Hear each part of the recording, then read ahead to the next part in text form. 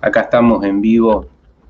Te pido que le des likes a mis videos, suscríbete a mi canal para que más personas puedan acceder a este conocimiento. Con eso me vas a ayudar. Eh, por supuesto, si no te gustan mis videos, le podés dar dislike, no hay ningún problema. acepto lo bueno y lo que me gusta y lo que no me gusta de la gente, no hay ningún problema, yo lo acepto. ¿Por qué sucede que la persona cuando está por morir ve la película de su vida, recapitula su vida? ¿Por qué sucede que la persona eh, de pronto le da un ataque al corazón, se muere, la resucitan, vuelve a la vida y en ese volver a la vida repiensa otra vez su vida, vuelve a rememorar su historia, a recapitular, a recapitular su historia. ¿Por qué sucede eso? O en situaciones de, extrema enfermedad, ¿no? Supongamos que a ti te da cáncer, tú te haces una, una terapia, estás muy mal, no se sabe si vas a vivir, si vas a morir y de pronto tú empiezas a rememorar tu vida. Bueno, eso que acontece de manera natural, en realidad es una forma de sanar a través de la recapitulación. En el chamanismo tolteca existe una herramienta que se llama recapitulación. Recapitulación es traer al momento presente los recuerdos, las personas, los libros que has leído, los lugares donde has estado, todo lo que tú dices que ha sido bueno, lo que te ha traído dolor, lo que te ha traído felicidad, todo para sanarlo, para, para conectarlo desde el amor. Entonces, en, el, en la técnica de recapitulación, uno no tiene que esperar, digamos, a cinco minutos o dos horas antes de morirse para ver la película de su vida, o uno no tiene que morir y volver a la vida o pasar por una situación extrema. Yo les cuento, yo tuve cáncer hace más de 30 años, entonces entiendo de lo que estoy hablando. No hace falta llegar a una situación extrema, sino que uno podría, desde el lugar en donde está uno, empezar a trabajar la recapitulación, que es conectar con la historia de uno, recapitular, traer al momento presente y escribir en un papel a lo largo de una semana, podría ser a lo largo de un mes, eso depende de cada uno, pero la clave es no hacerlo rápido esto. Eh, lo importante es conectar con cada recuerdo, cada persona que ha cruzado por tu vida, eh, cada lugar donde tú has estado, cada, cada música que tú recuerdes, cada canción, los conciertos, los libros que has leído, las, las comidas especiales que has tenido en tu vida. Tal comida me la hacía mi mamá sábado a la noche en, un rancho de México. Esto lo repito porque es algo que me dijo una persona con la que estoy trabajando en la sanación. Eh, esa me parece la, es la comida más simple del mundo, pero a mí me parece la mejor comida del mundo porque cada vez que como eso me acuerdo de mi mamá. Me, genera una sensación de amor, de bienestar, esté bien hecha o mal hecha la comida. ¿Mm? Esta persona se refería a una comida llamada pozole, creo que, creo que es así, ¿no? En, nuestra tierra, en Argentina, le, decimos más o menos a esa comida locro. Se parece más o menos al locro argentino que también comen los uruguayos y, creo que los chilenos también. No sé si te le pondrán otro nombre, pero más o menos sería eso, ¿no? El locro. Eh, entonces, recapitular significa escribir cada recuerdo, cada situación importante o no importante, puede ser una canción, un libro, volver con la mente a ese momento, agradecerlo, entender cuál es el sentido que tuvo eso en tu vida. Alguno dirá, Rodrigo, pero es que no hubo ningún sentido. Eh, mi mamá me hacía esa comida porque me amaba y nada más. Sí, ok. Pero vos que en este momento estás en crisis, que, sentís que, que quizás las cosas no tienen sentido, tu mamá pasó por tu vida por algo, y pasa por tu vida por algo y ha hecho un acto de amor simple desde una comida, entonces eso hay que agradecerlo. Vos conectás en el momento presente con el agradecimiento en vez de conectar con el pesimismo de eh, todo está mal, la vida no tiene sentido. Estás sanando, estás recuperando energía, porque la energía se nos va cuando pensamos todo en términos eh, negativos. En cambio, con esto recuperamos la energía. recapitular es recuperar la energía es agradecer es perdonar. Yo me acuerdo tal circunstancia, por ejemplo, esto también es, es muy real, ¿no? Donde mi primer amor me dejó. Esto me dijo una mujer, nunca lo pude perdonar. Bueno, recapitular, escribir en un papel, supongamos estas cosas a lo largo de una semana, perdón que sea tan repetitivo, pero es para que se entienda la idea. Escribir algo así implica volver con la mente y perdonar y agradecer las cosas positivas que pudo haber tenido ese primer amor, ¿no? Las primeras eh, conexiones con el amor, la primera vez en, el sexo, eh, todas las cosas buenas y bueno, no terminó quizá tan bien. Entonces, hay que aplicar el perdón hacia la persona. Porque esa falta de perdón, que vos podés decir, bueno, pero pasó hace 20 años, Rodrigo, sí, pero si vos no perdonás, esa falta de perdón está dentro tuyo. O sea, perdonar es recuperar energía, perdonar es, es eh, digamos, volverse más pleno. Porque a veces la persona dice, eh, yo quiero recuperar mi energía, tengo que hacer un talismán, ok, me tengo que proteger de las malas vibras, ok. Y yo te digo, está muy bien eso, pero vos querés recuperar la energía, vibrar alto, perdona, perdona. Agradece. Entonces, eso te pone en paz con tu historia, con tu pasado. Por eso no hay que llegar, y si no se puede, no se puede, y todos llegaremos en algún punto a situaciones extremas donde vamos a recuperar, vamos a recapitular, ¿no? Que es este ejercicio del chamanismo eh, tolteca, que es un chamanismo muy sabio, muy sanador. Entonces, les sugiero que la gente busque información sobre el chamanismo tolteca. A mí particularmente hay dos o tres herramientas que me han hecho muy bien y yo las aplico en mi trabajo porque son útiles, verdaderamente porque son prácticas y son útiles.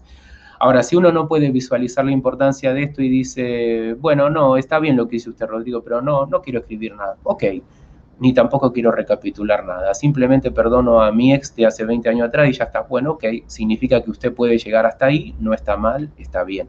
Ahora, la vida lo va a poner en situaciones extremas, donde usted va a recapitular toda su vida, desde el momento que estaba en el vientre de su madre hasta ahora. Aunque usted diga, no, pero yo no tengo ningún recuerdo del vientre de mi madre, eso va a aparecer. Es, esa, eso está dentro de uno en el inconsciente, uno no lo recuerda, pero en los momentos extremos, uno se, eh, digamos, se le activan o se le despiertan memorias que ahora en este momento no, no registramos, pero no significa que no existan. Y en, y en los momentos extremos vamos a hacer esta recapitulación. A veces la vejez, ¿no? La vejez. Pero yo pregunto, ¿no? ¿Por qué esperar hasta la vejez a hacer un trabajo de recapitulación y no empezar ahora? Sea donde sea donde, tú estés en la vida, 20 años, 25, 30, 40 o 50 como yo. La gente anciana, 85, 90 años, 80 años, recapitula, se acuerda de la infancia, se acuerda de manera amorosa de la infancia.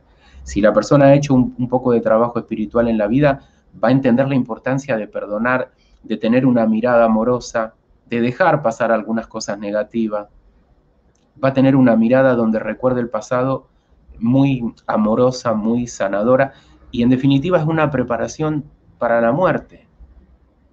Sí, yo sé, hablar de la muerte la gente le incomoda mucho, pero de hecho todos vamos a morir. Entonces, esa recapitulación, eso que se produce en la vida de los ancianos, de mirar al pasado cuando tú estás por morir, o cuando, no sé, te ahogas, te sacan del lago, te resucitan, entonces cambias la mirada sobre la realidad, recapitulas toda tu vida, hacia dónde voy en la vida mi vida no tenía sentido, no, tengo que encontrar un nuevo sentido. Entonces, no hay que dejar para mañana lo que uno puede hacer hoy en la medida de lo que uno puede hacer hoy. Tampoco voy a pedir que una persona eh, abandone todas sus actividades y se ponga a recapitular cuatro horas por día una semana, porque sería algo que no, absurdo, no tendría sentido.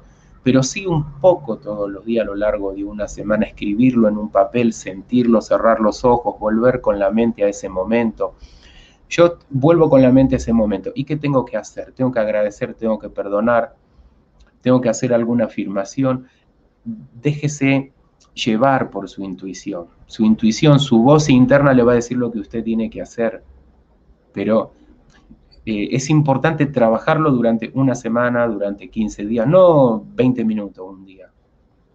Si lo puede hacer así, bueno, 20 minutos es mejor que nada.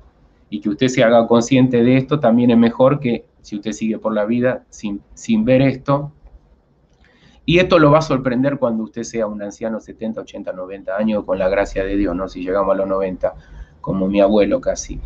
Eh, y bueno, la vida te va a presentar en una etapa distinta este mismo proceso. Las personas a veces no vemos esto porque solo estamos enfocados en el momento presente, en nuestro deseo. Yo quiero esto, yo quiero que vuelva mi pareja, Rodrigo, no, yo quiero ser millonario, yo quiero viajar a, España, yo quiero irme de vacaciones a Miami. Está, está muy bien todo eso. Está muy bien que uno tenga deseos, es parte de la naturaleza humana, pero no podemos a veces enfocar toda la energía en el deseo porque la tenemos en el pasado, la tenemos en cosas que no hemos podido hacer, entonces no nos recomponemos energéticamente. Porque recuperar la energía no es solo una cuestión de que alguien te la está robando por magia negra es que la energía la tenemos a veces, no estamos vibrando en el nivel correcto porque la tenemos en el pasado, simbólicamente, ¿no? En hechos que no hemos perdonado, que no hemos soltado, o, por ahí no hemos, no hemos ayudado a alguien a facilitar el proceso de que sane, hemos jodido la vida de alguien y no ayudamos a esa persona para nada. Y tú dices, bueno, no tenía por qué ayudarla. Ok, está bien, nadie tiene obligación de ayudar a nadie si no quiere, ¿no? Pero quizás si tú recuerdas eso y vuelves a vivir una circunstancia parecida, con más sabiduría actuaría distinto. Con más sabiduría uno actúa distinto y uno no vuelve a cometer las mismas tonterías, ¿no? Porque los seres humanos hemos cometido muchas tonterías y las seguimos cometiendo, ¿qué va a ser? Es parte de nuestro proceso. Pero estas cosas hay que prestarle atención. Muchas veces cuando los seres humanos dicen, voy a buscar un brujo, un chamán, lo busco a usted, busco a este, busco a otro, voy a hacer una limpieza, no prestan atención a estas cosas. Solo es la limpieza supuestamente para sacarle brujerías, entidades, muertos, vudú, eh, ondas necrománticas, como decía un, brujo charlatán argentino, eh, y no se le presta atención a esto. No se le presta atención a esto. Entonces la persona llega desempoderada, temerosa, sin perdón, sin conectar con el agradecimiento y, no termina de estar bien en la vida, no se termina de sentir plena y, supongamos que ahí sí te pegan las ondas necrománticas, la brujería, esto, lo otro, pero ¿por qué entró eso? Porque uno no está empoderado, porque uno no está en un punto de equilibrio. Entonces, e, esto lo explico en torno a esto de la protección y la limpieza, porque son cosas que la gente pregunta todos los días. No en realidad porque me interese tanto hablarlo a mí, pero yo entiendo que esto la gente lo pregunta todos los días. Si usted está bien, no le va a entrar ninguna brujería, eso se lo aseguro. No le va a entrar ninguna brujería. Si no, yo estaría muerto hace 20 años más o menos.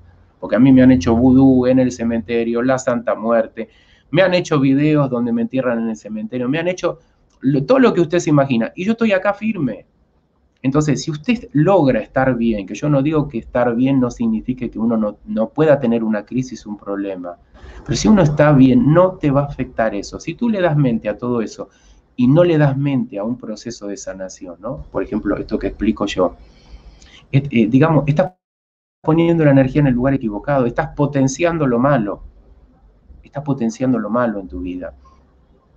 La vida es sabia, por eso las personas cuando envejecen hacen la recapitulación, por eso las personas cuando van a morir hacen la recapitulación y el que vuelve a la vida de manera milagrosa porque se salvó de un cáncer, porque se ahogó y lo resucitaron o le dio un, ataque al corazón y lo resucitaron, empieza a repensar su vida. Entonces no espere llegar ahí, ahora repiense su vida, ahora, en este momento, en este momento. Y no es que me tiene que contratar a mí o a nadie, si usted hace este ejercicio, este ejercicio le va a hacer bien y le va a abrir un poco la mente a entender otras cosas.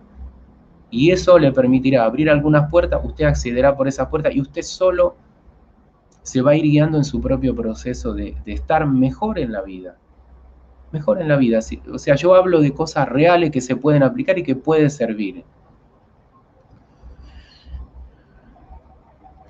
Bueno, simplemente era esto lo que quería decir.